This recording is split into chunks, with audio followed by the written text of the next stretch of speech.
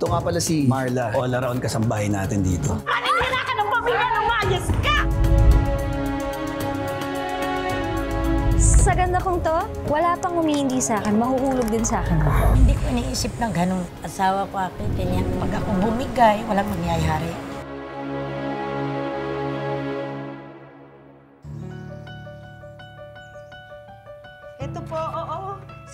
Dadaling ko na dyan sa inyo. Nililigpit ko na po. Okay. Oo, oo. Mga 10 minutes po.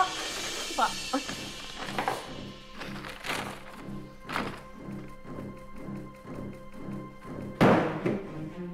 Walang yan. Ang kalat-kalat naman dito. Di ito ay pinamana sa anak ko ng bayo ko para magkalat ka lang ng ganto dito. Marami lang ho akong orders ngayon, pero mamaya ho, lilinisin ko rin ho yan. Marunong ka nang sumagot ngayon, ha? Ha? Wala ka na respeto? Ano? Lalaban ka? Nay! Nay! Nay! Ano nangyayari, Nay? Tama na! Nay, hintayin mo lang ako doon. Sige na. Hintayin mo na lang ako doon. Mabuti na lang nandito ka na.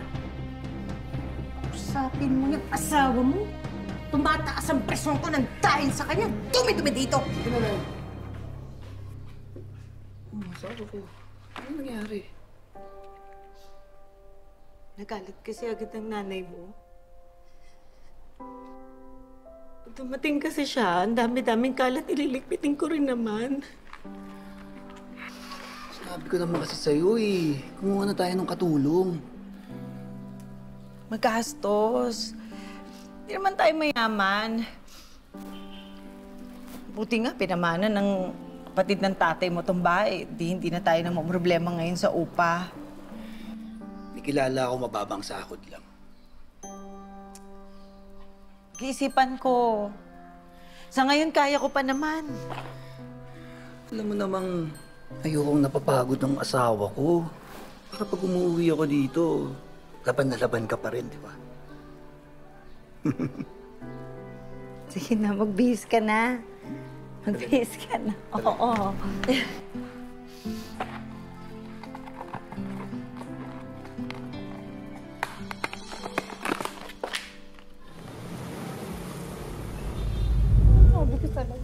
Saan na si Marlon? Umalis yun? Ah, eh, nag-CR lang siya saglit. Hintayin mo lang. Mabilis lang yun. Ano ka ba? Pwede. Oo. Basta umorder ka ng umorder. May gusto ka pa? Okay. Alam mo ba may specialty sila sisig? Antayin mo lang ha. Malapit na yun. Enjoy ka lang dyan.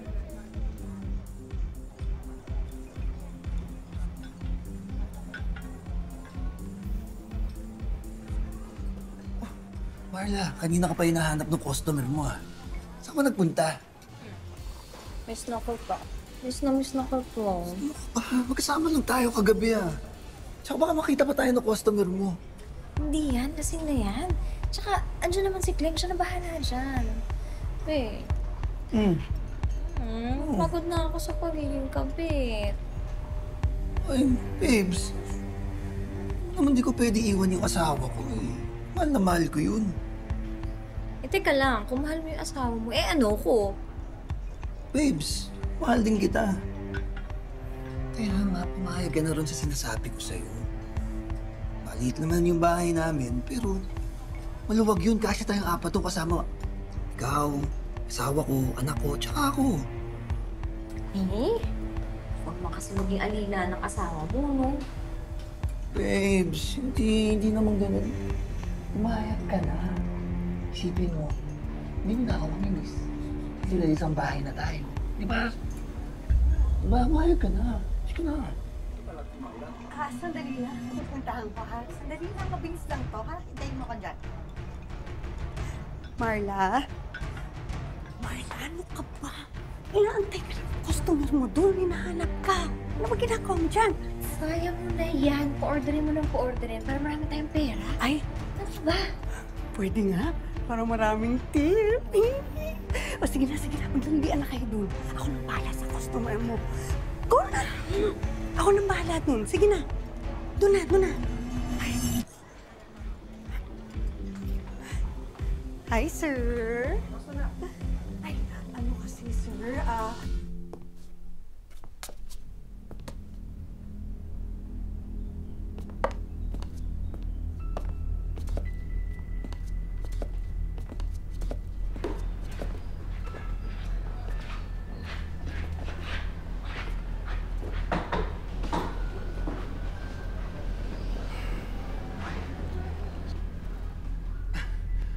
Asawa ko, Lily.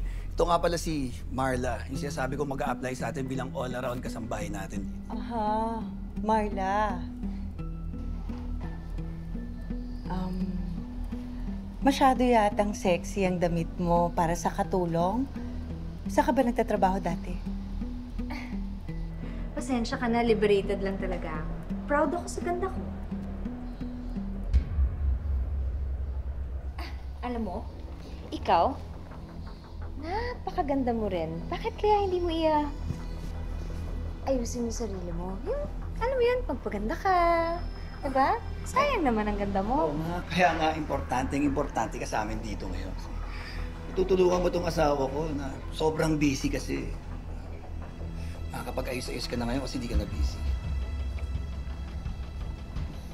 Marla, hindi naman masamang mag-ayos at magpaganda.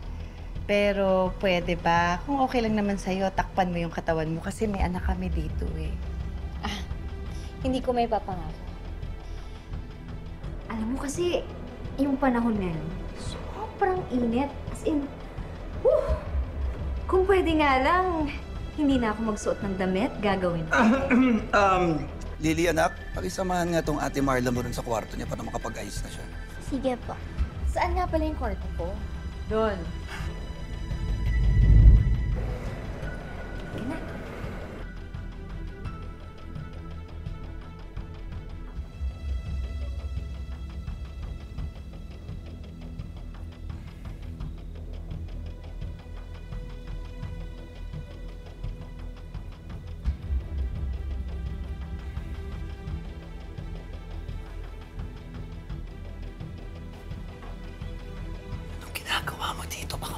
sawah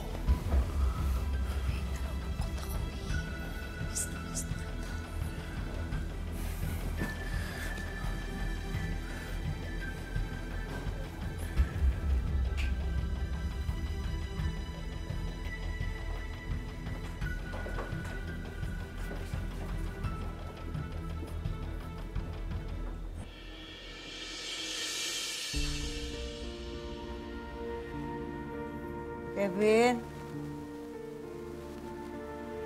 Kevin?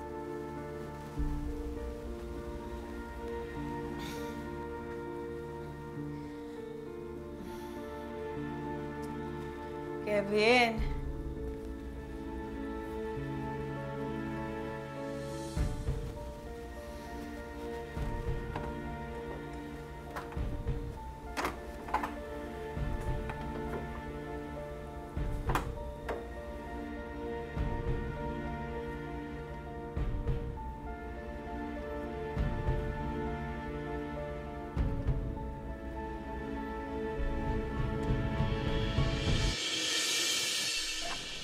Ma'am, hindi mo yung Sige nga. Mmm! Ang sarap ha? Eli, tikman mo. Sarap, sarap ng biko. O, di ba? Opo, Lola. Ang sarap nga din po ng gawa ni Ate Marla. Sinabi mo. Mas masarap pa nga sa gawa ng mama mo eh. Tingin nga.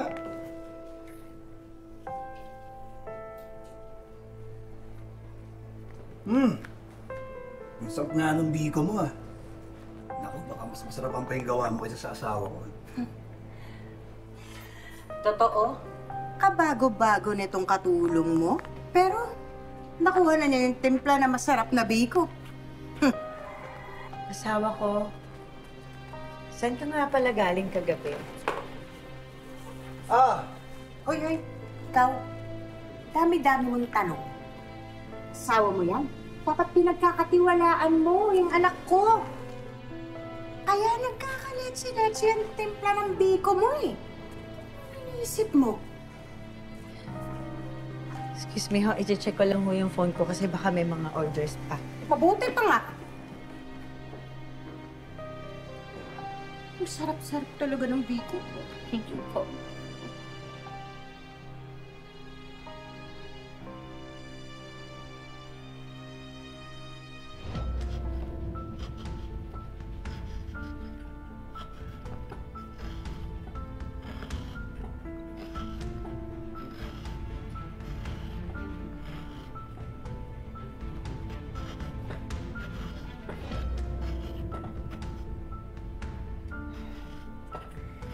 Akala ko ba, pahinga muna tayo. Namiss na kita eh. Ito lang pangkayod ng nyug yung kasama mo gabi-gabi. Hmm. Mas okay na to kaysa sa wala akong kausap. At saka, parang nagugustuhan naman ako ng nanay mo eh. Tara na. Huwag dito, baka may makahuli sa atin. Baka may makakita sa atin. Iyan. Eh si Jeneline. Wala, pagod na yun. Pagod. Pagod na tulog na yun. Pagod na pagod na yun. Hmm. Ah, tara na. Huwag na, dito na lang tayo.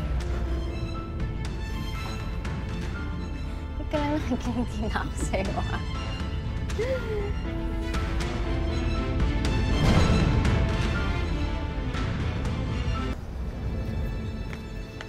Oh, kala ko ba pumasok ka na? Ba't nandiyan ka pa? Ayoko pong pumasok, Mama. Ano nga ayaw mong pumasok? Uy, bakit ka umiiyak? May problema ba? May masakit ba sa'yo? Sabihin mo sa akin. Anak, may problema ba? Sabihin mo sa akin. Kailangan niyang malaman ni Mama. Mama. Nakita ko po kasi si Papa po at si Ate Marla po na nag-kiss po sa kusina.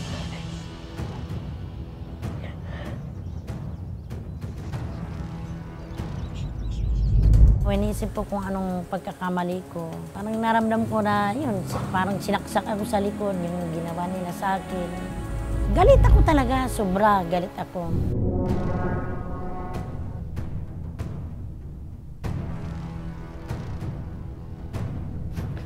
Walang yaka. Ang kapal ng mukha mo na magkikimang kayo ng asawa ko sa harap ng anak ko. Walang yaka!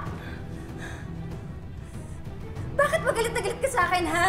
Pagkatapos kitang patirahin dito, pakainin yan pa ang gaganti mo sa akin? Kailan pa kayo nagsimulang magbabuyan ng asawa ko?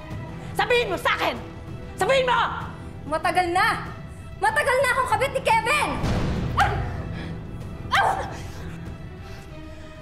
Lumayas ka!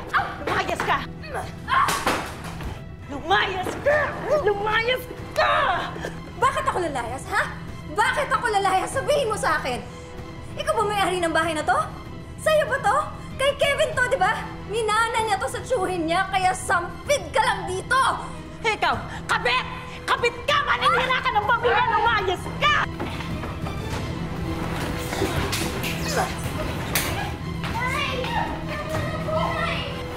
Ano ba? Tumigil ka! Tumigil kayo! Tumigil ka! Tumigil ka! Ano ba? Hindi ka na nahiya! Nakikipagsigawan ka sa harapan ng anak mo! Hindi nadinig tayo ng mga kapitbahay! Ikaw ang mahiya! Pinatuloy mo pa dito sa bahay yung kabit mo! Ano bang nagawa ko sa'yo? Ha? Nang bababae ka! Sabihin mo! Ano pagkukulang ko? Ano? Sabihin mo! Yung mga pangangailangan mo bilang lalaki! Ayan! Masaya ka na! Sinagot ko na! Ano? Masaya ka na? Ha? Naging mabuting asawa ako sa iyo sa buong taon! Dapat yun ang gagawin mo sa akin! Sa buong taon! Tumigil ka! Sige! Nay! Ikaw, ano bang ginagawa mo dito kabit? Umalis ka! Lumayas ka! Lumayas ka! Lumayas ka! Lumayas ka! Tama na! Hindi mo na lang tanggapin na kabit ako ng asawa mo? Eh, tigil mo na! Nay! Nay, tama na po! Nay! Nay!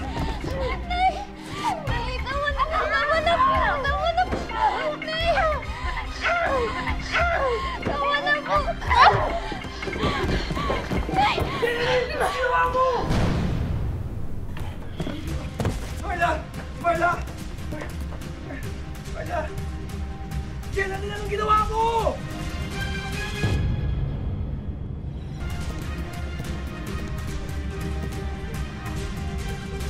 Anong ginawa mo? Dali natin sa ospital! Dali natin sa ospital!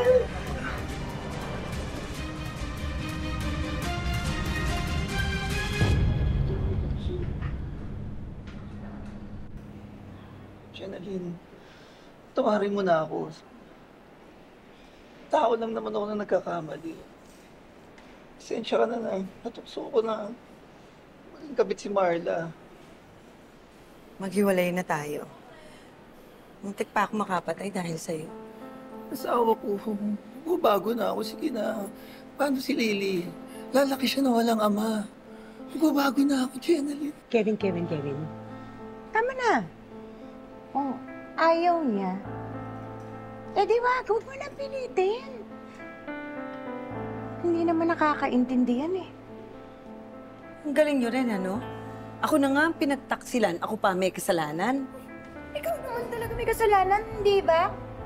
Kung hindi mo tinulak si Marla, wala tayo dito ngayon. Paano kung kasuhan tayo niyan, ha? Excuse me po. May malay na ho yung pasyente. Pwede nyo na hong puntahan sa loob. Excuse me po. Okay na si Marla.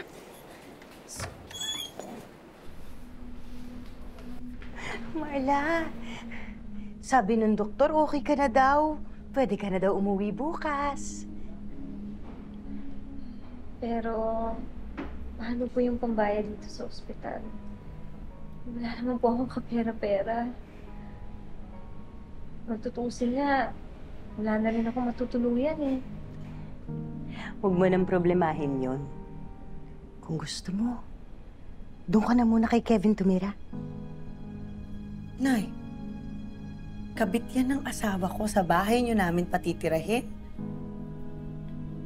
Yung bahay na sinasabi mo, bahay yun ng anak ko, hindi sa'yo. Ikaw naman talaga may kasalanan nito, di ba?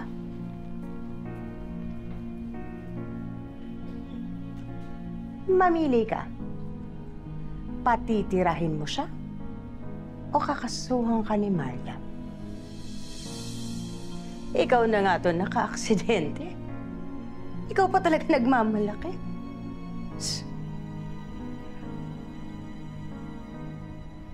Janalil, kung mag-alala, malandi lang naman ako pero madali akong kausap. Hindi hindi ko nalalapitan ang asawa niya. Pangako.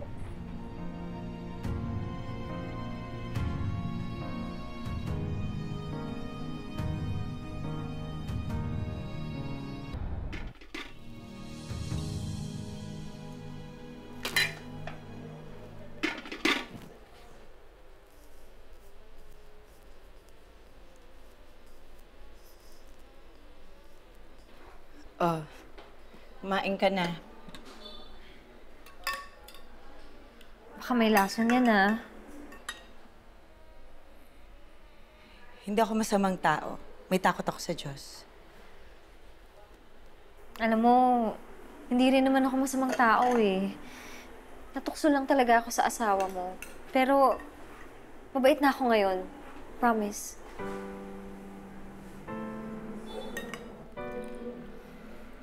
Anak, kumain ka na. Pinagluto kita ng paborito mo. Tinolang manok.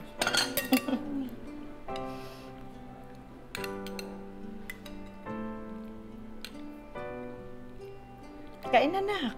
Mm. Ayos, oh. Salamat ha. Kain na.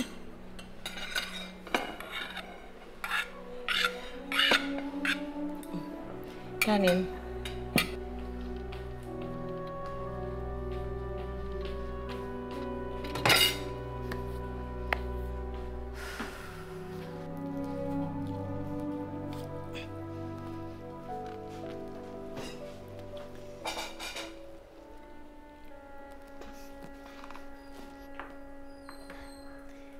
Kita. Hindi na. Kaya ko na to. Magpahinga ka na. Aray. Sigurado ka?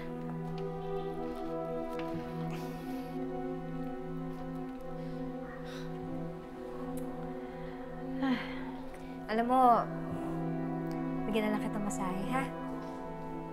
Ka na.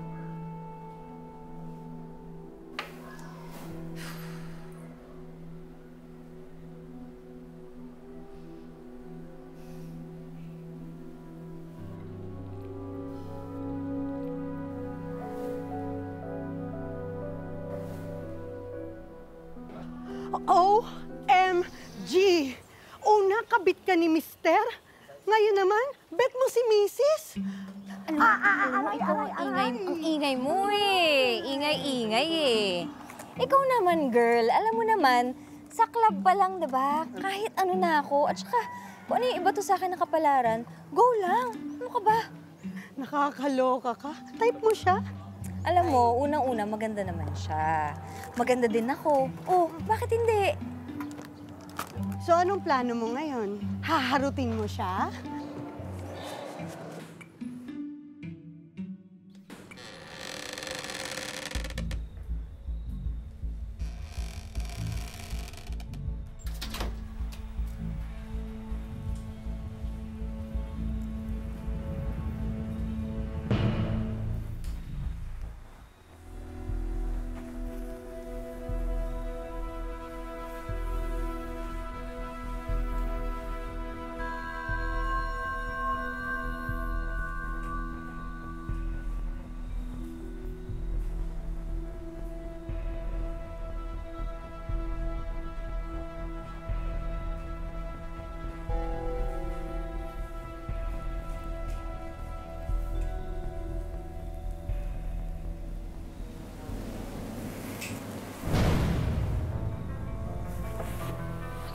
Mo dito?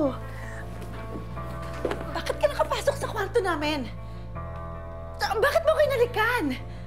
Ah, sorry, Jeneline. Hindi ko alam kung paano ko sasabihin sa'yo. Pero, be, be, be, pero gusto kita. Nagagandahan ako sa'yo. Bet na bet kita. Kadiri! Ano ba yan? Parehas tayong babae. Ano naman ngayon? P- pwede naman yun, di ba? Ano ba pwede yun? Lumayas ka nga ng kwarto namin. May anak ako, may pamilya ako muntik mo nang sirain dati. Sorry, pero, di ba, at least naging honest ako sa'yo? Di ba? Honest ako na gusto kita. Marla, napapaliw ka na. Lumayas ka na nga. Alam mo, nararamdaman ko eh. Nararamdaman ko na gusto mo rin ako. Nahihiya ka lang. Hindi mangyayari yun. Napapaliw ka na. Lumabas ka na nga.